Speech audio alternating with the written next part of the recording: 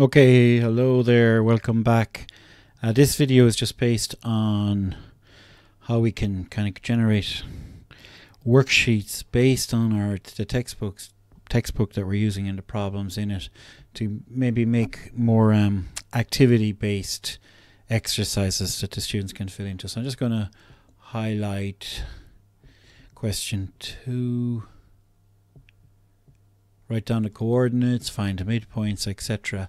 And just how how we can use this in maybe a more um, you know, in more in a worksheet where the students get to practice over and over again, and um, it's it's more learning by doing, I think, than asking students to work out of the book.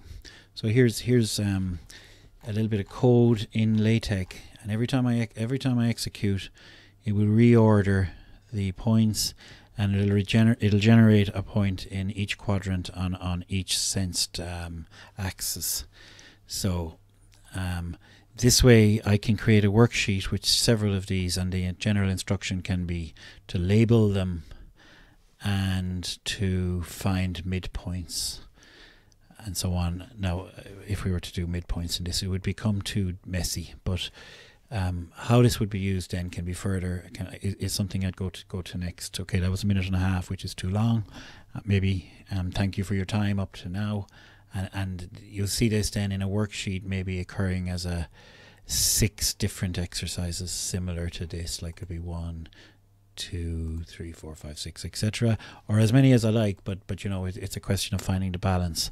Um, in terms of um differentiation, then um just by changing this number here, we change the number in the grid, this, the grid size.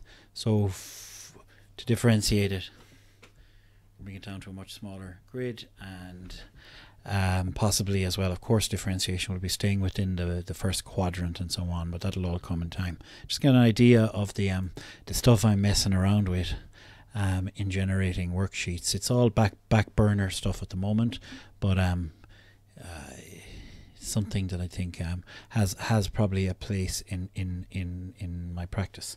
Okay, see you in the next one.